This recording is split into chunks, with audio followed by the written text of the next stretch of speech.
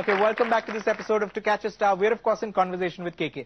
KK, let's talk a little about your uh, music, your singing style. You know, what I've noticed personally is that a lot of singers, most of your contemporaries actually, um, tend to show off, tend to be fashionable in their singing, um, have a lot of their personal style in their singing. What I think is interesting about your music is that you're not very stylish in your singing.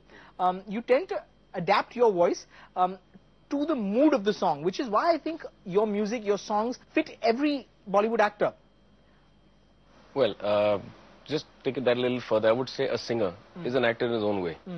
A lot of people would ask me this, uh, this question in different way. You say you don't, uh, uh, you don't change your voice to cater to a particular actor. I said it's not important at all, because an actor does exactly what I do. He acts that song out, and I have to sing that song out, emoting the song. So for me, the lyrics play the most important part, and um, each each song has its own mood, like you said. And the most important thing for a singer to do is to catch the mood. Okay, very true.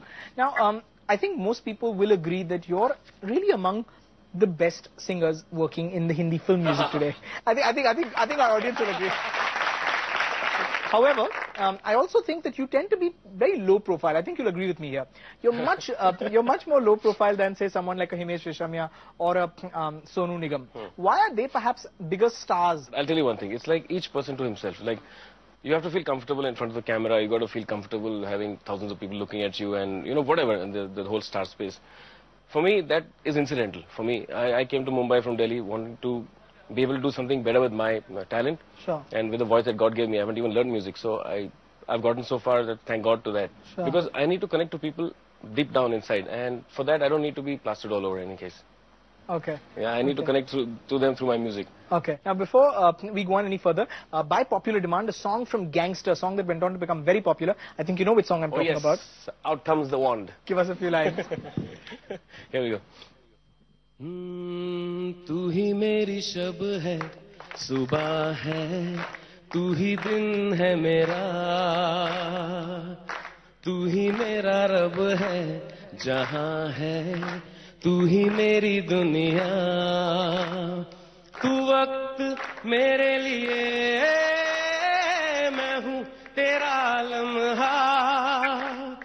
कैसे रहेगा भला होके तू मुझसे जुदा। Are you ready? ओ। ज़ोर से। ओ। One more time.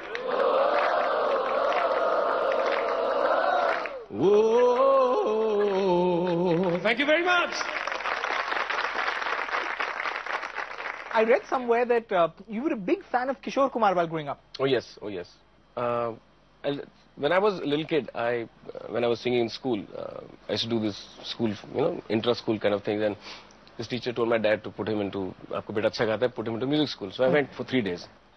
And I just couldn't fathom or comprehend. I mean, this is, uh, I'm not trying to be condescending, you know. Sure. The fact is, I went there and I didn't connect to that idea of sitting with 100 kids and trying to learn music. Okay. Because for me, I had already been listening to Kishorda. Right. And I thought, if you were to say if I picked up anything, I would say it was the feel. Okay. He can emote or get into the song, the gist of a song, the vibe of a song, like nobody else can. It's, if it's a slow, sad song, it's a fast song, whatever it is, you know, it's like it's as though it's made tailor-made for him. Right. So the idea is, it was born in my head at that time that if he could do it, I mean, he's a great guy, okay? Right. Nobody can imitate him, he's the best. But maybe in my own way, I could just try to kind of start singing and emote a song Sure. rather than getting technical about it.